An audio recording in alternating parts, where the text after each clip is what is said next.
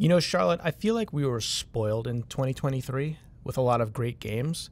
So I thought it'd be a cool a cool idea if we sort of looked at some of the games and the stories that we think might have gotten kind of like overshadowed or sort of overlooked in all the hoopla of 2023 with all the really big like AAA games like Spider-Man and Alan Wake and um, Baldur's Gate and all those kind of big titles. Yeah, I mean, I'm definitely excited to hear what you think was overlooked in 2023 because I definitely feel like I have fallen for the glitz of like playing a lot of AAA games. So I definitely am always on the hunt for good smaller games. Yeah, I think especially for me, games that came out in the beginning part of the year too, when I was kind of going back into my backlog, there were there were definitely a lot of games that I that I really enjoyed story wise that that I think kind of got overshadowed later in the year. So yeah, did you want to start with uh, one of your games? Yeah, I mean, I know one of my games is a game that we both played and enjoyed, and it was Oxenfree 2. Oh yeah, which released in the summer of 2023, and I don't know how long it's been since you played the first game. It, it was a while because um, I think what did it come out like four years ago, something like that. It uh, came out in 2016. Oh my! Wow, that long ago? Oh my goodness. Yeah. Oh, that's that's terrifying. Um, yeah, I um, I don't know if I actually played it when it first came out though. To be honest, maybe that's why it feels like it was more recent. Yeah, I played it in 2017, so okay, it's been yeah. a it's been a hot minute for yeah. me, but it was definitely it's really impressive in a game like that where you can jump into it and be like, "Oh, I remember like this world. I remember this gameplay." Yeah. Like they did such a good job of like it's a new adventure, but it still has the same feeling that you loved in the first game. Yeah, it has a very unique DNA. The the art style, the sort of perspective too, with the really small characters and that kind of like painterly sort of map, um, and of course like the radio kind of dial gameplay.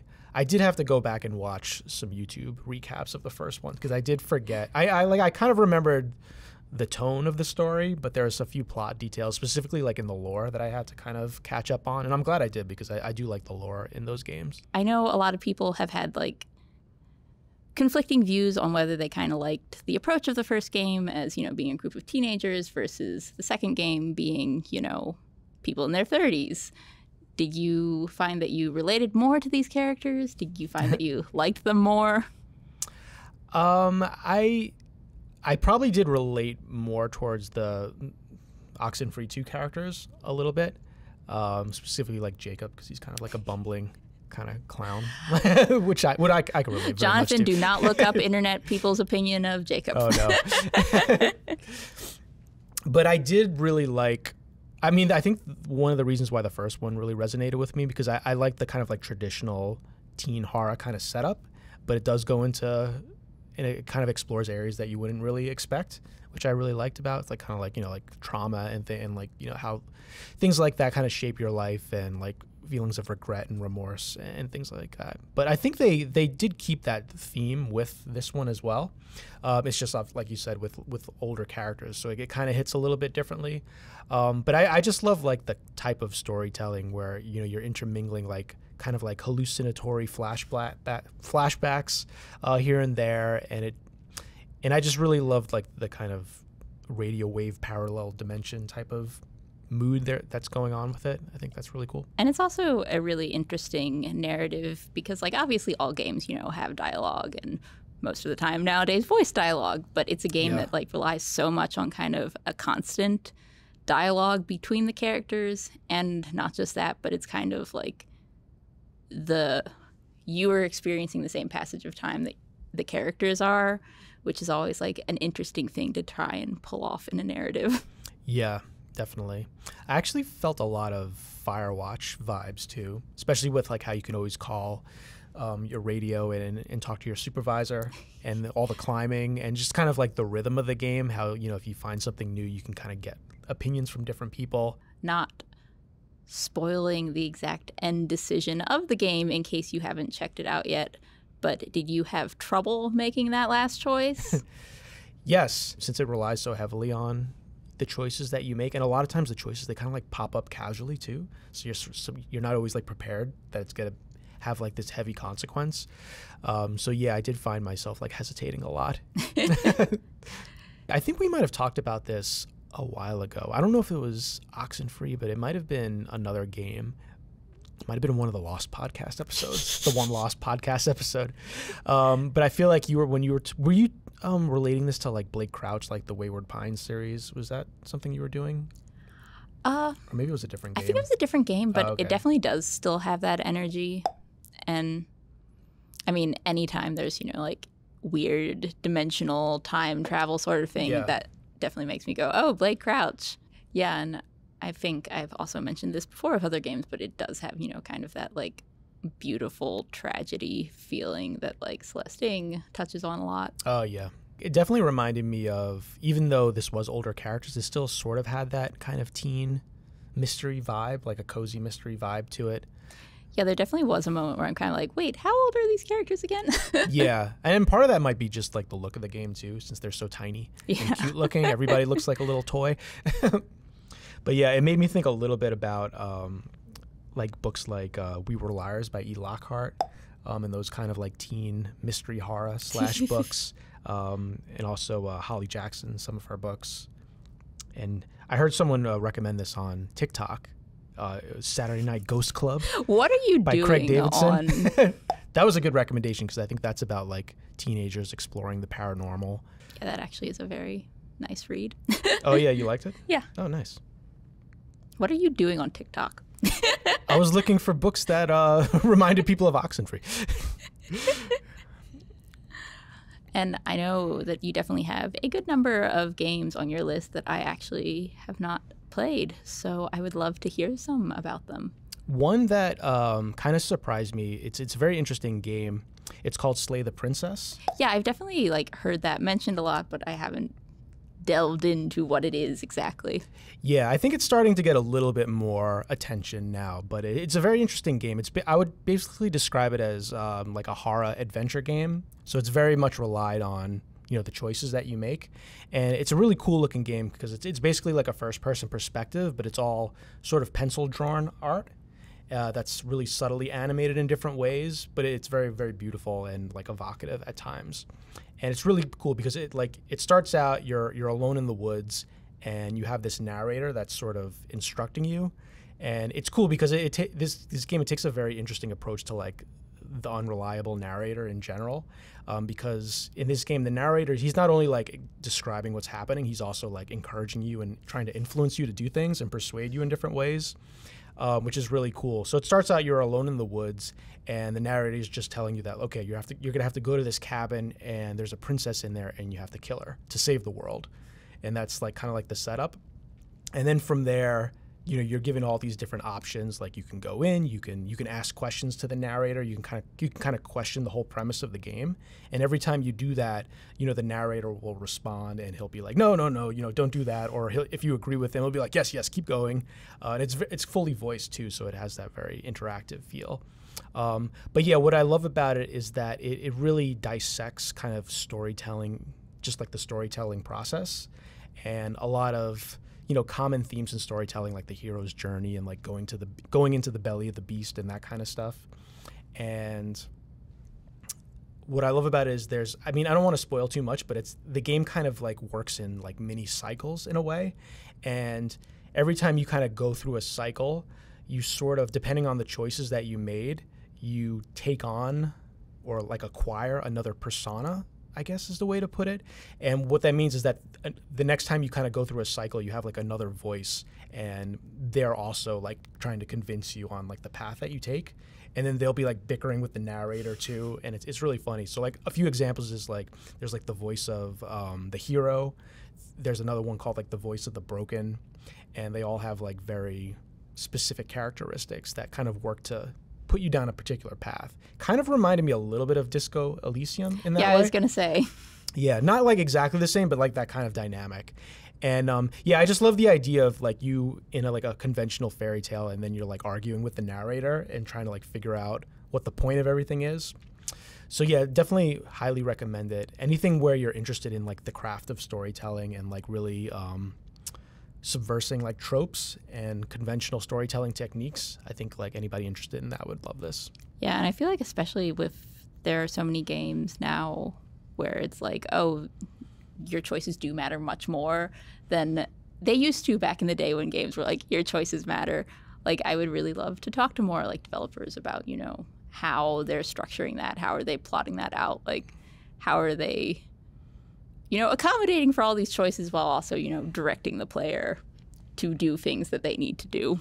Yeah, this game in particular, I feel like you know whatever kind of flowchart they had to map out all your choices must have been insane. Because it, it see, honestly it does feel like it's endless the, the amount of possibilities. Because it's not like oh go here go there. You you literally like will have like 10 sometimes like different paths and each it's not like that fake choice where you pick one and you just get like some dialogue this one as soon as you pick something like you're going in a direction uh, which i which i definitely dig yeah so again if you really like anything that really um, sort of dissects the storytelling process. It, it definitely reminded me of, of like books that do that as well. Um, if you've ever read like The Orphan's Tales by um, Catherynne M. Valente, that's one that really sort of deconstructs storytelling. I keep saying that. I don't know why I said it like five times. Deconstruction. but it's it's sort of like that Arabian Nights style of storytelling where you have like stories within stories within stories. I, I really like that kind of stuff because it sort of calls into question like how important storytelling is just in our like society and how it's developed throughout the years. I know you're not a big graphic novel person, but you got to read Sandman. Commenters know, agree yeah. with me. He has to read Sandman. I know I'm pretty bad with. I think I've only read like that graphic novel, the cyberpunk one. Um, and it's not because I don't like graphic novels. I just I don't know. For some reason, I just have like a really big blind spot, and I've never gotten around to it. But yeah, Sandman is on my list. Everyone tells me that's amazing. So, and I, I like Neil Gaiman. Like I've heard him speak a lot. Seems like a cool dude. oh, you mean that one time we went to film an event and Neil Gaiman just showed yeah, he up? just popped up one time. yeah. No, he's very seems like a very interesting guy. So I, I definitely need to read up, read up on him. yeah. So, controversial question for you. Uh-oh. Do you think, as we're talking about like underappreciated games, and this one obviously got lots of attention, mm. but I know it was kind of ignored in awards and didn't really get anything. Do you think people appreciated Final Fantasy 16 for all that it offered? this is a big can of worms. oh man, this I feel like we need a whole podcast to talk about Final Fantasy 16 because I think overall I was very pleased with the game, specifically the story too. I thought like the story was was very good. I, I think they did a really good job of making compelling characters that can kind of carry the story throughout the whole tale. Um, there's definitely some things I did not like about it, but overall, I definitely think it was like on the higher echelon of like Final Fantasy games. If we want to look at like the whole history of the mainline games, do you think it deserved more award recognition than it got? It got nominated for best RPG, right? For game of the uh, for the Game Awards, and it must I, have been right. I believe it was also under best narrative. Okay, I mean, I think that's solid. See, to me, this is this is what I mean. Like this kind of opens opens up a whole thing because my big thing with like the game of the year was I don't think remakes should be considered for game of the year awards or really any of those like high awards. Just because I feel like it's almost like in the Oscars where you have you know original screenplay and adaptive adapted screenplay. I feel like you should have a separate category for remakes because there were a lot of good remakes this year. You had like Dead Space, you had Resident Evil uh, Four. There might have been a few other ones that I'm forgetting. I would have definitely taken out uh, Resident Evil from the Game of the Year conversation. I don't know if I would have put in Final Fantasy 16. Hi-Fi Rush is pretty cool. Um, I mean, we're kind of like going off on a tangent, I know, but um, but yeah, I mean, I think on any other year, probably Final Fantasy 16 would have gotten a lot more love and attention. Maybe that's kind of like what you're getting at. Um, but I don't think the fact that it wasn't considered for awards uh, like diminishes how good the game was. I yeah. thought it was a great game. Yeah, I mean, I definitely have my own host of problems with yeah. the narrative that Final Fantasy XVI presented. I still overall enjoyed it, but that is definitely something that we want to delve deeper into in the future. yeah, we should definitely do like a full on Final Fantasy 16 episode because there's just so much. I mean, I definitely have like a few quibble, more than a few quibbles, but um, I still think like the overall like what they were able to achieve um, it should be commended because it is a pretty complex plot, and they definitely explore a lot of interesting themes that are kind of hard to do in games. And I thought for the most part they did a pretty solid job. Another game that we both played and definitely got like a little bit of like award nudge at it, but I feel like in the general population was kind of, you know, not super talked about maybe not super played was Lies of P. Mm, yeah, that's another good one. Which I will say I am quite often not a Souls like gamer. Like I have played a little bit of Bloodborne. I have just recently started playing the Elden Ring multiplayer like mod on PC with my friends, but that's kind of a different experience than you know just mm-hmm. straight up Elden Ring. But this one definitely, I think, drew me in a bit because one, it's a little bit ridiculous, and I find that incredibly enjoyable. but also, just I feel like a lot of you know the Souls like are kind of a little less like the narrative is you know right there and like kind of presented to you. It's a little more like oh you have to dig through like journals and whatnot to kind Yeah. of piece that together which I think works great for those games, but I definitely am kind of intrigued by the idea of, you know, a Souls like that is also kind of giving you a more like presented to you narrative story. Yeah.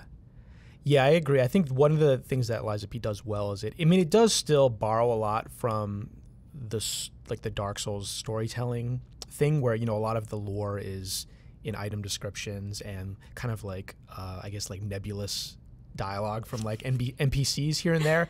But as you said, there is like a very clear beginning, middle, and end. You know, you are going through a journey. There's like there's points that you get to in the story where like things happen and then that kind of like leads you to go to other places. You're not just sort of like exploring like this big area and just like trying to piece everything together yourself. They they do like kind of lead you on a little bit, which I think works well for the type of story that they're telling. And also like the game is not incredibly like gigantic. It is somewhat focused, which I do like. And every time you go into a new area, there's like a specific narrative reason for that. You're not just kind of like stumbling in like this giant castle and trying to figure out like, oh, this king killed all his wives. Why did he do that kind of thing? And I got to look at all these paintings, which I love, by the way. I'm not knocking that, um, but it's just I think it, it's cool to like see a s- like a different uh, kind of take on the Soulsborne storytelling approach. And here is a question for you. What is your feeling when fighting, you know, like a end of level boss in a game like Lies of P? Do you do it solo or do you use the specters ever? Uh, I um, it uh, completely depends on if I am having fun fighting the boss. Like I usually always try the first time by myself, and like I don't mind, you know, trying to beat a boss for like an hour or two as long as it's like a fun fight. But if it's just like an annoying fight or I feel like it's a little cheap, then I'll I'll summon it just because I want to get past it. Yeah, definitely same for me. And also like that is kind of a way that sometimes the narrative works against Mm, a yeah. game like this because like yeah, you want to like work through the boss because that's kind of why you're playing the game for like that kind of hard gameplay Yeah. element. But when you're like, "Oh, I want to keep pursuing this Yeah. story." you're like, "Oh, let me That is true. Yeah, let me just get through yeah. this quicker." yeah, I think um, the more humanoid type enemies I found a little bit more frustrating than like the really big robot puppets. Um, but yeah, there are some really cool boss fights. I, I love when you sort of get to a point in the game where some of the enemies aren't puppets. I don't know if you've gotten to that point, but that that that kind of like adds a new element to the game that I think is pretty cool. But yeah, I think when we when people talk about Lies P or any kind of Soulsborne like game, they focus on the action adventure aspect of it. But I think this game like it does have a really cool story. It's not just the whole Pinocchio setting, like the actual things that happen I think are actually really cool. And I love the way it sort of um, it kind of like echoes a lot of the concerns about like the industrial revolution and how you know it took over like people's jobs and sort of the perils of unchecked greed and ambition. I, I like a lot of those sort of ideas that I think this kind of explores in interesting ways. Also, shout out to whoever on like the writing creative team was like, okay, so Jiminy Cricket is a copyrighted name by Disney. You mean Gemini, Cricket? yeah. Shout out to whoever was like, I have an idea. yeah, and Let's shout out to whoever came up with the term P organ. oh yeah,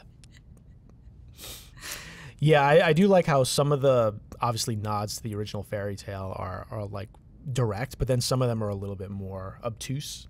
And some of them I didn't even really like put together my myself. I had to look like watch a YouTube video to to figure out. Um, That's like, the kind of in-depth analysis you won't get from us. yes. I don't know. I, yeah, I guess you can call it like a subgenre. This, um, I don't know, maybe you call it like a retelling of classic fairy tales or like a reimagining. Um, but I think that definitely works well for games, and I do like the kind of perverse juxtaposition of what, at least a lot of, like people like me who grew up with a lot of the Disney uh, iterations of these stories. It's funny to like counterpoint that with a horror game or like a really like graphic, bloody action adventure RPG. And it is also fun seeing like obviously games have done this in the past with like you know the twisted take on a fairy tale yeah but it's fun seeing that continue to be explored because that's also such a big like current interest in especially ya literature and i just know like there are yeah. so many like naomi Novik comes to mind yeah, she has some really silver, great right? like spinning silver uprooted like it's always I feel like you can also tell a lot about a creative person when they, you know, write a story inspired by another narrative, but change it in a way that makes it more interesting to them because that's like, it's very clear what interests them about that story they're choosing. Yeah, I was um, reading up a little bit about um, another book like that. It's called The Bloody Chamber by uh, Angela Carter. And that one's a collection of stories that you can describe as sort of alt takes on traditional fairy tales. Like, like I know there's one based on Sleeping Beauty. There's another one based on Little Red Riding Hood. Um, but it was cool because she actually rejected the idea that they're like adult versions of these kind of like child fantasies. She she sort of described them as like uh, like unearthing the latent like core ideas of these stories of the original stories. And I thought that was just like a cool idea. It's like these these ideas were already there. It's just that like they were kind of like in the subtext and she's sort of like bringing them out. Yeah, especially like you also see a lot of authors, you know, kind of going back to like their heritage mm, and yeah. rewriting, you know, kind of the pop culture version oh, into yeah. more related That's to their cool culture. Like Jen Rose Nethercott does a really good job of that in her works. Oh, nice.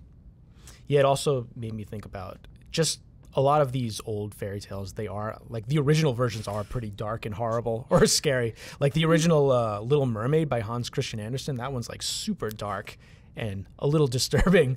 Um, nothing like the Disney version, and uh, and of course like Grimm tales, like those yeah. are no secret. Grim furries. yeah. So one, I, I really like science fiction stories, especially when they deal with space exploration. And there is one game that came out earlier in the year. It's called Deliver Us Mars, and it's actually a sequel to a game called Deliver Us the Moon, which I, don't know. Are we just slowly traveling? the... Next one's Deliver Us Jupiter. No, um, but yeah, it's just um, what I love about the original and this one. It's like I'll give you like a quick synopsis. Basically, it's um, like Earth is being depleted of its resources, and you know there's like an energy crisis, and you know we're running out of food and water and all these kinds of things. So there's uh, there's like a scientific endeavor to like farm energy on the moon. And I guess the premise is sort of like wirelessly transmitting energy via these like giant satellite relays. Um, and that's kind of like what the first one's about. But then eventually, uh, mankind they sort of like abandon, or at least the side. There's like a scientific group of people that sort of abandon um, saving Earth, and they decide to like construct these arks and try and colonize Mars. So the basic premise of the game is you're still on Earth, and you're the younger of these two sisters that are both astronauts, and their father is one of the ones that sort of he's like the main uh, like brains behind creating these arks and creating this like sustain, new sustainable kind of environment. And a lot of he's kind of perceived by, as a villain by a lot of the people in the community, and he's kind of off on, on Mars now, like colonizing it. And it's such a cool dynamic because the older sister is she's a little bit more she had to be like the caregiver for you because the dad like abandoned them. And she has like a very like sour relationship with their dad and she kind of sees him as a villain. But you as you play as the younger sister and she has like a more like idolized look at their father and she's much more sympathetic to him and that sort of dichotomy between the, the two sisters is like always at play throughout the story and I, I just love like science fiction stories that sort of marry like high concept sci-fi with like really deep human relationships. Uh, made me think a lot about like Interstellar, the movie, kind of does that a little bit, and also if you've ever read like Carl Sagan's Contact, It kind of does that a lot really I well. haven't read it, but I've seen the movie. Yeah, that one. another great Jodie Foster, and Matt, PRH author Matthew McConaughey, right? um, but yeah, I just I just love those like when those when you can kind of combine like the cosmic with like the really deeply human. I think that's always like a really cool uh, dichotomy. And it even has like a little bit of like a heart of darkness quality to it where you have this like figure, right? This father that you're sort of pursuing. And as you're getting closer and closer to finding them, you're you're discovering more about like what makes them tick and what their motivations are. So it has that sort of like Mr. Kurtz, Colonel Kurtz, if like if Apocalypse Now is more your thing, that kind of like element to it, which I think you is know, really the cool. choice between Apocalypse Now or Heart of Darkness. Yeah, both very interesting. You know, I, I, found out that Joseph Conrad actually like didn't like Heart of Darkness at all. He like thought it was like trash. it's kind of funny. Well, he was trash, so. Oh, was he? I'm pretty sure. Wouldn't surprise me. All right, so we definitely had a great time with games in 2023, but what are some games coming out in this next year that you're excited for? Well, I feel like a broken record, but it needs to be said. my my hype level for Final Fantasy Rebirth, Final Fantasy VII Rebirth is like it's actually getting to the point where it's not it's not good. I'm a little bit concerned because I think there's no way that this game can like meet my expectations because I'm getting so excited for it. So I'm trying to like calm myself down. Uh, but yeah, I mean they just keep releasing more and more, and it just seems like it's gonna be like such an insanely like big game. And I don't know. Have you played uh, remake? No, I've only played the original seven. Uh, but did you like the original one? Hmm? Yeah, I mean, I for me like the original one. That's like one of those like milestone games for me. it like hit me right in my like formative years. I think I first played it when I was like a freshman in high school. So it was like, yeah, that one hit me hard. um, but yeah, I'm like obsessed with Final Fantasy VII. Like, if you look at my old Trapper Keepers from high school, it's just like doodles of like Cloud and Sephiroth everywhere. Um, but yeah, um, yeah, I just thought they did such a good job with remake in like ex- expanding like Midgar because you probably know the first game's all in Midgar, and you know you know it's like a pretty small slice of the overall game. But I thought like they did such a great job of adding more characters, exploring characters you already know in much more detail, and really just making it feel like a much more like vibrant, real city. And you know that was a little bit more manageable with the first game because you were contained in Midgar, but now in this part of the story, you're you're kind of like oh, out in the open world, and I'm very curious to see how they take that approach to like a more open world type of game. Because sometimes it can be tricky when you give people too much freedom to try and like tell a nice coherent and paced well paced story. So i'm very very curious. But i, I have faith. I think they're going to do a great job all right well i will say one of my games that i'm most excited for this year is actually one that's coming out as of us recording this next week but as of this going up probably like in a day. uh, so I'm super excited for like a Dragon Infinite mm. Wealth to come out. Like I'm love. I mean, I love the Yakuza series. I am. I am a bigger fan of the newer protagonist Ichiban than I was ever of Kiryu. Like I'm kind of sad that this one they're like we've got to bring back Kiryu because I I was ready to let him retire.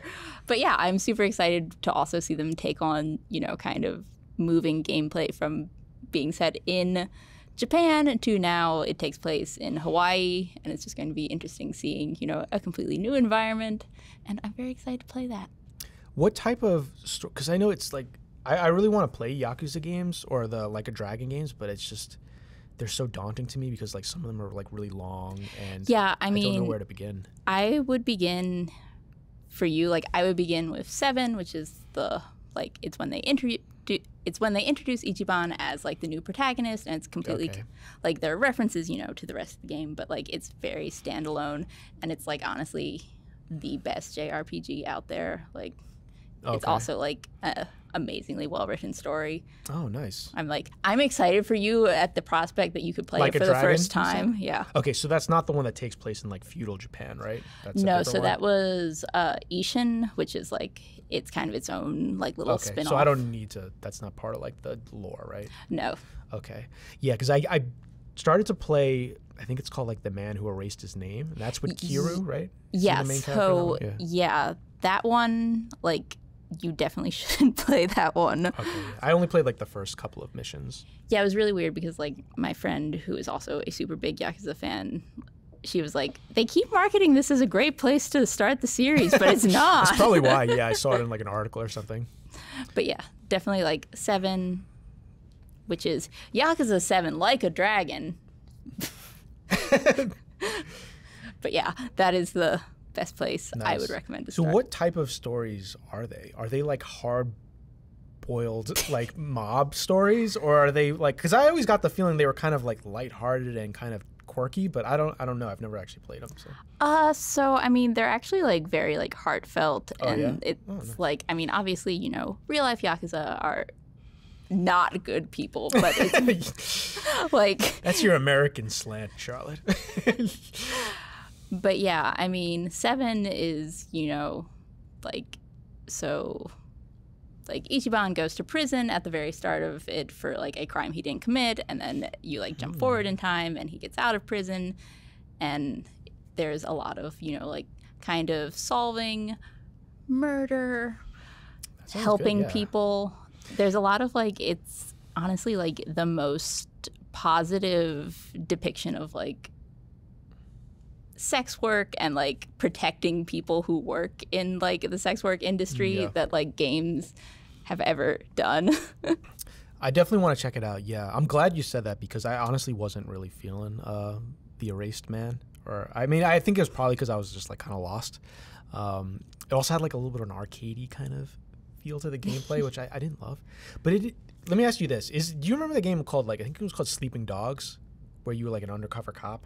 I remember it. I didn't like ever actually play it. Was that at all related to these games? Because it had a very similar like. Um, like look and play style because it was sort of like a beat 'em up, but it had like a very like yeah, and that's plot. also why like I would recommend Seven for you because it's a turn-based RPG. Oh, okay. And like the whole idea is the whole idea was supposed to be like so like a dragon as a series going forward will be their like turn-based jrpg and then judgment which is a spin-off of oh, yeah, the series will be that, their yeah. beat up version but there are problems. Oh man so, is that gonna take me like 80 hours to beat? Yeah. Oh man. But you'll have I might have to time. squeeze it in and th- that one the new one comes out soon right? Yeah the 26th oh wow man, there's so yeah, this weird man. There's so many good ones like in the first quarter of the year, really, that are coming out. Yeah, I'm the only person excited for Ghost Banishers of New Eden. oh yeah, you talked about that. Well, are you not excited for uh, Persona 3 Reload? I mean, okay, like yes, I'm excited. I will play it eventually, but like it is. I have played Persona 3, so it's not quite as like I have experienced that story, so it's not quite as like I have to play this instantly, sort of. Gotcha. Yeah, I'm still working my way through Persona Four because I, I, love Persona Five. That was the first one I played, and oh, man, I, I got pretty pretty far into Persona Four. I think it's it's a little tough to go backwards though because even though I really like the story of Persona 4, some of like the dungeons and like the combat it feels like a little repetitive compared to 5. So that that was a little bit of a slog. Yeah, definitely like power through. I because I, if I remember correctly, like Persona 4 Golden has been ported to basically everything. Yeah, that's the one I'm playing. Yeah, because yeah. that's definitely like a big improvement on the gameplay. But yeah, yeah the story is really cool though. I do love like the the mystery surrounding surrounding it. So yeah, I'm definitely gonna get uh, three when it comes out because a lot of people I've known in the community or I know in the community they, they say like the third one they like the best because I think that's when they like made the shift of like whatever yeah like combining the whole like high school friends simulator with the RPG elements. Yeah, I mean, honestly, that's also like something I'm very curious to see how they're going to be handling in this one because the whole thing with Persona 3 is the original didn't do a great job of letting you social link with your whole team. Oh. And then the Persona 3 portable did because you could be the female main character and you could actually, you know, like social link with all of the male characters on your team as well as the female characters, whereas the male protagonist could only do the female characters. Oh, I see. So I'm pretty sure that like they are changing that in this new oh, one nice. so that you can social link everyone, but like hopefully they yeah keep from, stuff like from that. what I've read, they are overhauling quite a bit. Like I think they're redoing like the battle system. I think it's supposed to really uh, emulate a lot of the flair and style of Persona Five which everyone loved, rightfully so. yeah, and I mean, speaking of Flair, another game that like honestly I haven't been following that closely, but I'm still excited to play is Decapolice, Oh. which is a crime suspense RPG that Level Five is releasing. Oh, is that the Ni no Kuni people? Yeah, Oh, nice. but like honestly, it's one where just like the art style and especially like the protagonist design, I'm like find really appealing. So I'm like, oh, I want to play that when it comes out. Yeah, what was it called again? Uh, Decapolice. Deca Police. Interesting. But yeah, it's also one where it's a little unclear if it's actually coming out this year or next year. Oh yeah, yeah. There's a few games that um, are in that camp that I wasn't sure I wanted to talk about. One game I'm like super excited for. It's uh, it's called Eiyuden Chronicle. A hundred heroes. Yes. Um, bit of a, a mouthful, but yeah. Um, this is kind of like a spiritual successor to the Suikoden um, RPGs from the. I get it started in the PS1 era. Then they made a few PS2 version uh, sequels, but um, I love these games because the story is always something around like you trying to build an army and a kingdom to sort of counteract this evil empire. You love a good buildings. I do, yeah. I mean, this is one of the first games I remember that had like a mix of it had like traditional turn-based battles, but you also um, had like really cool base building where you had to like every every character you recruited would add like something to your your headquarters and then it would gradually get bigger and then you would actually fight in these like large scale like um, army battles and um, all the characters that you accumulated in the story would like that would affect how you kind of like fight in those battles. And then they'd also have like one-on-one duels which were kind of like they were a little like rock paper scissory but they were still kind of fun. Um, but i think like above all like the storytelling i really like how even though it is there are like fantasy elements and there are supernatural elements it's very like subdued. And the the main drivers of the plot is more like geopolitical and a lot of that kind of like government intrigue and they're in like a medieval setting but you know it, it definitely has that like game of thronesy kind of like backstabbing sort of storytelling to it if you've ever played like final fantasy tactics it's very similar type of storytelling to that which That's i actually really the like first Final Fantasy I ever played. that's one of my favorites it's, that's a, i think that's kind of underrated to be honest uh, love that Well, game. perfect episode to mention it. Yeah, exactly. Um, but yeah, I'm very excited for that, and it also has that mix of pixel art and 3D environments that you that's kind of becoming a little bit more popular now. If you've ever played like Octopath Traveler or Bravely Default, it has that that sort of look to it, which I think is really cool. Bravely Default is one of those games that I've gotten so close to being like, yeah, I mm-hmm. should play this before, and then like, there's just enough, you know, criticisms where I'm like, do I though? Yeah, I, I mean, you might like it because yeah, they, they are they're, those games. I think they probably look better on a Switch. If, you know, since you like playing on the Switch, um, it's definitely like a good look for that that console. And yeah, are you at all excited about Star Wars Outlaws? I think that's supposed to come out this year. Right? I I am excited. In I guess like excited isn't the right term. Like I am intrigued because it looks interesting. I will probably play it, but I guess also there's just so little info and I guess it's so abstract when it will actually even come out that it's Yeah. hard to, you know, kind of like latch on to. yeah, I think the last thing I saw there, at least as of now, they're planning for later in the year of this year. They're gonna Um, announce like on Monday that it's been canceled forever. Yeah, probably. um, hopefully not. But yeah, I just like the idea of delving more deep into the, I guess, like the underworld of the Star Wars universe.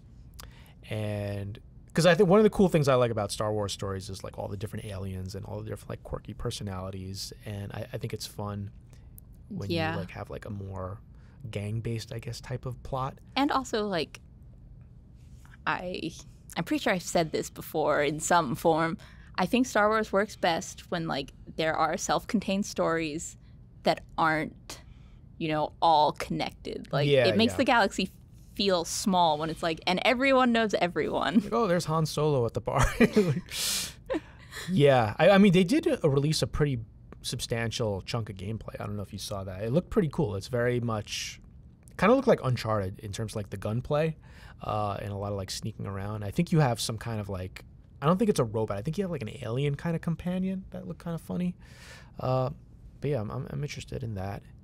And yeah, Are there any upcoming books that you're excited for? There actually are. There's quite a few, but one that I am very intrigued by is um, there's a book coming out um, by Gabriel Gabriel Garcia Marquez, and um, it's actually a book that is the last book that he wrote, but it was it hadn't been published. He's actually he's passed away now.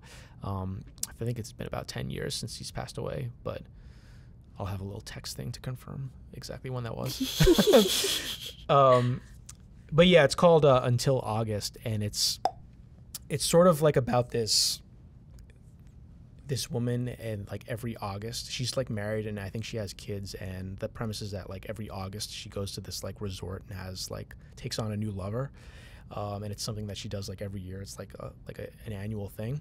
And I think it really like explores those like ideas of like you know keeping like your sexual desires and your like a double life kind of, yeah that kind of like having them like both in parallel but in like maybe like a healthy way i don't know.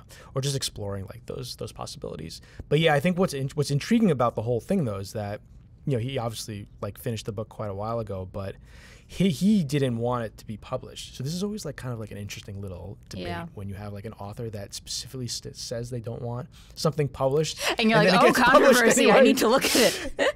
I mean, I, I find it very fascinating because at least in this case, it was his uh, sons that decided to uh, release it. So Those gosh darn children. yeah, and you know, part of the reason why he didn't want to release it is because he actually like late in his life he actually suffered with dementia, and he thought that it like affected his writing negatively. But you know, his sons they said like for whatever reason they they think like the world deserves to see it. I'm curious, like it is an interesting debate. What do you, do you have like thoughts on that, and like whether or not those types of things should be published? Uh, yeah. I mean, I feel like it kind of slides back and forth. Like, on one hand, I, you know, as a fan of people, I'm like, oh, if they made work, I want to see it. But on the other hand, it's like, but if it's not work that they wanted to put out there, then shouldn't you respect those wishes? Yeah, I believe uh, Kafka, all of Kafka's work, he didn't want published. And what was was it his friend or was it like his an accountant or somebody? It wasn't a family member. I think it was like a close friend that was the one that decided to like, oh, this stuff is too good. Like people have to see this. That's like there are some J.D. Salinger short stories that you know are like unreleased, and you Uh, can yeah. only go read them at like a specific. I think it's some university library. And I was like, I want the secret J.D. Salinger. Yeah. Are there any uh, books that you're excited about? yes, and I brought a prop. Oh, So this is the book that I'm most excited to read, and it. We just recently got physical copies of it, which is why I am now really excited to read it. It is by Philip B. Williams, and it is called Ours, and it just sounds like such an amazing narrative. It's kind of, you know, a magical realism fantasy take on, you know, the slavery era of the South. It's about a conjurer who kind of annihilates plantations across Arkansas to oh. release the people enslaved there, and she creates kind of a safe haven for them to live in. And it just kind of explores, you know, that community and exploring that kind of alternate history of what this could be. And Philip B. Williams was has been primarily a poet, so I'm just really excited to delve into, you know, kind of experiencing his transition from poetry to prose. And Ah. I feel like that's always a really cool thing to watch an author go through that journey. yeah. It sort of reminds me a little bit about uh, Ta-Nehisi Coates' The Water Dancer. That's exactly what I Oh, said yeah. when I first heard. Because yeah, I guess it was a little different for him because he was jumping from like journalism and nonfiction to fiction. But yeah, that whole idea of that era and that point in American history and like putting like magical realism elements. And I think he was very inspired by like comic books too. Yeah, it definitely, you know, kind of makes you think of like Black Panther, that sort Mm, of. Yeah, yeah. Well, yeah, he worked on. Uh, oh man, I'm forgetting. I think he worked on this. I, I don't know. I'll have to look it up. But he definitely either worked on like uh, comic book, more recent comic books, or it might even been like aspects of the movie that came out. I forget. Yeah. Um, And this one is definitely like, it's a big novel, so I will be reading it for a while. and I can see there's a blurb mentioning that it's like Gabriel Garcia Marquez's Hundred Years of Solitude. So look it's all coming together. Sweet. Um, another book that I'm I'm very excited about is um, Silvia Moreno Garcia has another book coming out this she year. She writes so much. I know. I'm kind of jealous. It's crazy, but uh, it's called The Seventh Veil of Salome, and her last book, Silver Nitrate, um, it was sort of told in the backdrop of the Mexican film industry, which I really am interested in. Anything like dealing with like behind the scenes film stuff, I'm always interested in. Um, but yeah, this one kind of keeps that one going. This one's more about like 1950s Hollywood, and it's about a Mexican act- actress who takes on the role of uh, like a Hollywood production of Salome. And I'm not sure. Most of our books they usually have some kind of supernatural horror element to it. I don't know if this one does, so I'm interested to see. It probably does, um, but yeah, I'm very uh, excited to to check that one out because I, I, like the way that she she mixes those sort of uh, historical elements with like a like kind of like a, a fun sort of take on horror that I like. Yeah, I think it'll be fun to see because right now there are not a lot of games with official release dates like April onwards for this year. Yeah. So we should have more time for reading. yes. All right, so those are things in 2023 we thought were underrated and things in 2024 that we are looking forward to. We would love to hear from you guys what you thought deserved more love in 2023 and what you're excited for coming up. Yes and weigh in on the should should a book be published if the author doesn't want it published. No, um, but yeah, if you like this video, please uh, like and subscribe because it does help with the algorithm. Um, but yeah, we hope you enjoyed it, and we'll see you next time.